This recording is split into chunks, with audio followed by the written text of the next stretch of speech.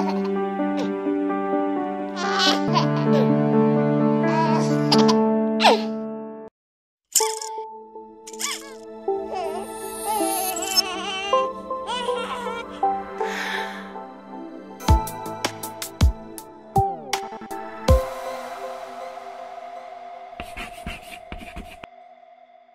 Ողջույն։ Դուք միացել եք Հավատ հասարակական կազմակերպության ծնողական on-line դպրոցին։ Մենք խոսում ենք լսողական զգայարանի, լսողության կորստի, դրա շտկման ձևերի, լսողական սարքերի, կոխլեար իմպլանտացիայի եւ ամեն ինչի մասին, ինչ վերաբերում է լսողության խնդիրներ ունեցող երեխաներին եւ նրանց ծնողներին։ Մեզ կարող եք գտնել YouTube-ում, Facebook-ում եւ ընդհանրապես համացանցում, պարզապես փնտրելով Հավատ հասարակական կազմակերպություն կամ Հավատ NGO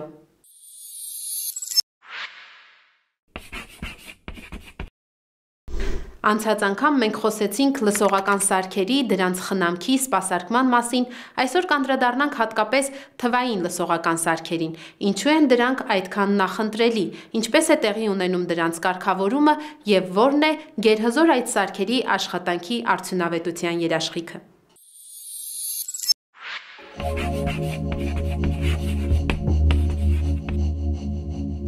Լսողական սարքերն ըստ ձայնամշակման տիպի լինում են անալոգային, ծրագրավորվող եւ թվային։ Դրանցից ամենանախընտրելին թվայիններն են, ժամանակակից գերհզոր սարքերը։ Ինչով են դրանք գերհզոր, ինչն է առավելությունը։ Ժամանակակից լսողական սարքերը բացի պարզապես ձայնի ուժգնացումից կատարում են մի շարք բարդ հավելյալ ֆունկցիաներ, աղմուկի դեմ են պայքարում, հետադարձ ակուստիկ կապի դեմ, այսպես կոչված շվոցի դեմ ժողովուրդը տենց ասում սուլոցը, որը կարող է լսողական սարքից գալ, ունի ուղղվածություն, ունենում է ուղղվածություն, խոսքային ուղղվածություն ճանաչում է, որոշ լսողական սարքեր ճանաչում են խոսքը, տարբերում են խոսքը մնացած ձայներից, ավելի լավ են ուժգնացնում խոսքը, կարող է լինել տարբեր բարձրախոսների ուղղորդում, որով սարքը որոշում է կամ ըստ կարգավորումների որ ուղղության ձայներն ավելի լավ պետք է լսել եւ այլ եւ այլ բազմաթիվ այլ ուրեմն հատկություններ։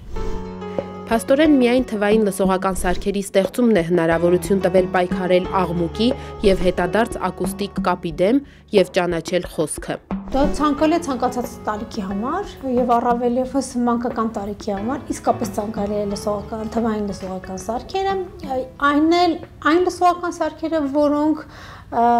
նախատեսված են մանկական պրոթեզավորման համար, այսինքն կան հատուկ ծրագրեր, հատուկ ալգորիթմներ, որոնցով կարգավորվում է երեխաների լսողական սարքերը։ Եվ եթե օրինակ սարքը ինչքան էլ բարձր կատեգորիայի սարք է, ինչքան էլ լավն է, եթե այնտեղ չկա հատուկ մանկաբուժական ալգորիթմ, այն կիրառելի չէ երեխայի համար, որովհետև երեխան, որը պետք է լսի եւ խոսել սովորի, ունի բոլորին այլ կարիքներ եւ բոլորին այլ է, մեծահասակի խնդիրը լսողական սարքի ուրեմն կիրառության օգտագործման ժամանակ։ Աշխարհում լսողական սարքեր արտադրող բազմաթիվ ընկերություններ կան։ Դրանց առաջատար տասնյակի մեծ մասը ներկայացված է Հայաստանում։ Այսինքն դա նշանակում է, որ այստեղ ստեղծվել են բոլոր պայմանները այդ սարքերի կարգավորման, սպասարկման համար։ Իսկ ինչպես ընտրել հենց ձեր երեխային անհրաժեշտ, հենց նրան հարմար սարքը։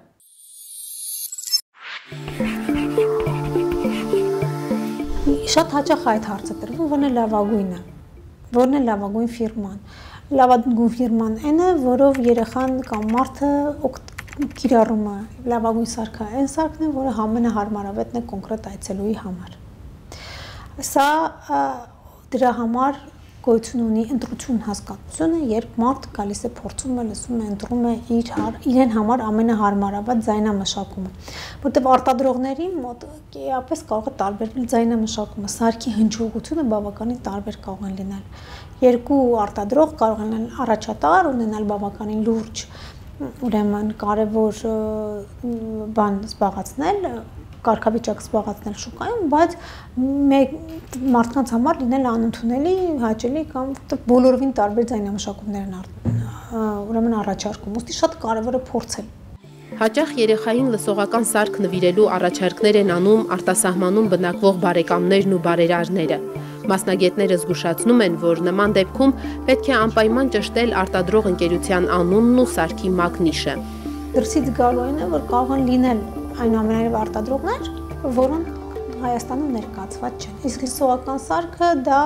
ակնոց չի, որ մի անգամ վերցրեցինք, եթե շրջանակը հարմար է, կարելի է օգտագործել, դա մարբերաբար կարգավորումներ եւ խնամք պահանջող սարքավորում է եւ եթե մենք ճունենք ծրագրեր, ճունենք համապատասխան լարեր, համապատասխան ուրեմն հարմարեցնող մասերը, կապող սարքը եւ համակարգչին կապող մասերը, ապա կարող է ամենալավագույն սարքը մնալ անգործ, որովհետեւ հնարավոր չլինի դա հարմարացնել կոնկրետ այցելուին։ Ոստի շատ կարևոր է։ Բացի դրանից իհարկե նաև սպասարկումը։ Սարքերը հաճախակի սպասարկման կարիք են ունենում, ավելի ալ ասենք, չգիտեմ, որոշակի բան կարող փչանալ, խափանվել եւ այս դեպքում եթե ներկայացված չի երկրում այս արտադրողը, դա դառնում է բավականին լուրջ խնդրեմ։ Օրինակ, եթե անգամ կերիկը, որը շատ հասարակ բան է, կերիկ փոխելը վնասվի, ապա մարդը կարող ամիսներով մնալ առանց սոական սարք, միջև ուղարկի հետ իր բարեկամներին, բարեկամները տանեն, փոխեն, հետո մարդ գտնեն, որ հետ բերի այդ սարքը եւ այլն եւ այլն։ Եվ իհարկե ամենակարևոր դա հարմարեցումն է, որ դա միայն անգամ աուդիոգրամայով հնարավոր չի արկայության դեպքում հնարավոր չի հարմարեցնել։ Մարդը պիտի գնի ականջի եւ ասի ոնց է լսում, ինչպես է, մասնագետը պիտի գնահատի եւ միայն նոր դրա արդյունքում կատարվում են այն էլ փուլային մի քանի անգամ հանդիպումից հետո նոր վերջնական կարգավորում։ Սովորեք հրաժարվել բաներից, որ ձեզ անհրաժեշտ չեն։ Եթե բարեկամը պիտի ուղարկի մի սարք, որի դարն ինչպես ասում են անցել է վաղուց, ավելի լավ է առանց նեղացնելու եւ նեղանալու հրաժարվեք դրանից։ Գուցե այն պետք եւ իսկապես օգտակար լինի մեկ ուրիշին։ Ցանկացած նման հարցի դեպքում խորհրդակցեք մանկական սուրդոկենտրոնի մասնագետների հետ փաստորեն լսողական սարք ընտրելը 1 ժամվա եւ 1 օրվա գործ չէ։ Դրա համար մասնագետները երեխային նախ փորձնական սարք են տալիս եւ այն փորձելու ժամանակ փոքր երեխաների դեպքում դրա հարմարավետությունը նախ եւ առաջ պետք է նկատեն մեծերը, ընտանիքի անդամները, իսկ մեծ երեխաները հենց իրենք կնշեն, որ դա իրենց հարմար սարք է։ Միայն դրանից հետո արժե ձեռք բերել սարքը, բայց սրանով ամեն ինչ չի ավարտվում։ Հիշեք, որ դրանից հետո դուք դեռ մի քանի անգամ, գուցե բազմակի անգամ հանդիպելու եք մասնագետին սարքը կարգավորելու համար։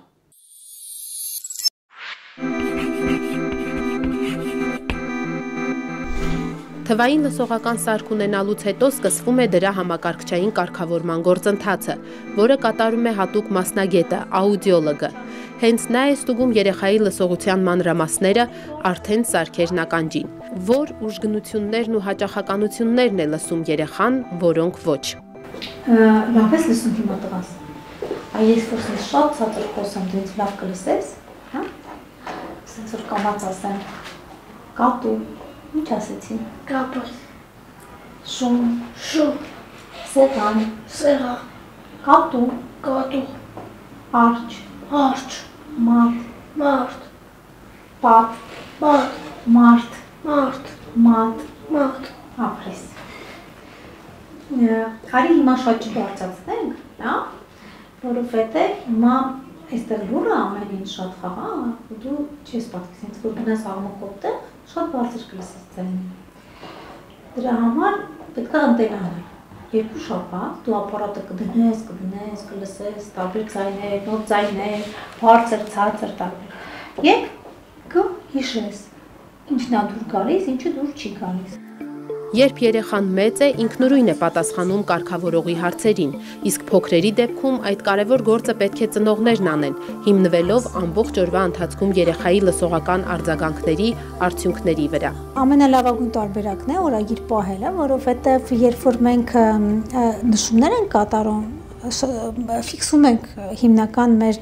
դիտարկումները։ Ժամանակի ընթացքում դրանք մոռացվում են։ Շատ հաճախ ծնողը գալիս է եւ արդեն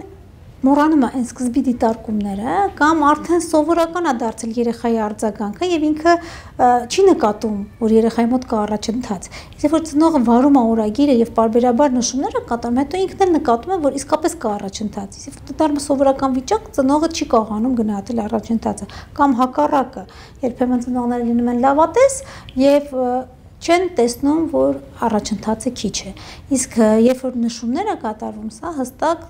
եւ ինձ համար է կարեւոր, որովհետեւ չի մոռացվում ոչ մի մանրուք, երբ ծնողը գալիս է, եւ ծնողը ինքը կարողանում է լավ գնահատել։ Ինչ վերաբերում է ինչին պիտի ուշադրություն դարձնի, սա կախված է տարիքից եւ լսողական սարք կրելու փորձից երեխայի։ Եթե մենք նոր ենք հարմարեցնում լսողական սարքը նոր ենք ընտրել, ապա ցանկացած արձագանք, ցանկացած ձայնի հանդեպ շատ կարեւոր է երեխան լսեց թխկոցը, արձագանքեց, ծնողը վստահ է, որ այս հեռավորությունից ինքը լսում է թխկոցը, շատ կարևոր է, որ ֆիքսի, որ այսպիսի ձայն ինքը լսում է այս հեռավորությունից։ Կամ ոչ մի դեպքում, ոչ մի երբեք չի արձագանքում, ենթադրենք դրան զանգին կամ հեռախոսի այսպիսի զանգին կամ այսպիսի ձայնը։ Սրանք շատ կարևոր դիտարկումներ են, որոնք հետո դառնում են հիմք կարգավորումների համար։ Այսօր բացի լսողական սարքերից գոյություն ունեն նաև մի շարք աքսեսուարներ, որոնք իրենց տարբեր գործառույթներով լրացնում են սարքերի աշխատանքը։ Օրինակ FM համակարգը դպրոցներում աշակերտներին օգնելու համար կամ հատուկ սարքեր հեռախոսից եւ հեռուստացույցից հնչող ձայներն ավելի լավ լսելու համար։ Փաստորեն ժամանակակից գերհզոր թվային լսողական սարքերը շատ նուրբ են եւ ուշադրություն են պահանջում։ Հիշեք, որ դրանց առաջին ճշնամին խոնավությունն ու ջուրն են եւ տնից դուրս գալիս արժե վերցնել տուփերը կամ երեխային հագցնել այնպիսի հագուստ, որ անպայման գլխարկ կունենա եւ կպաշտպանի սարքերը անձրևի ժամանակ։ Իսկ մեր հաջորդ հանդիպման թեման սոցիալական աշխատողի գործառույթներն են։ Ճանաչենք նրան եւ հասկանանք, թե երբ կարելի է դիմել եւ ինչ օգնություն ակնկալել։